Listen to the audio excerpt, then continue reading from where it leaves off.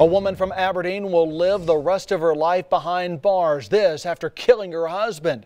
WTVA's Rhea Thornton is standing by to share with us what happened in court. She joins us live in Aberdeen.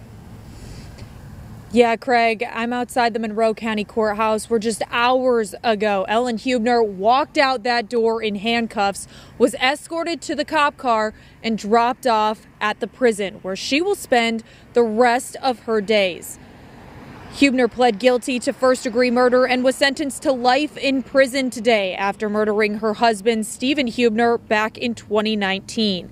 Stephen's body was found in the backyard of their home in March of 2019. Monroe County Coroner Alan Gurley said Stephen died from multiple gunshots. Ellen Huebner is in her late 40s and again will spend the rest of her life in prison.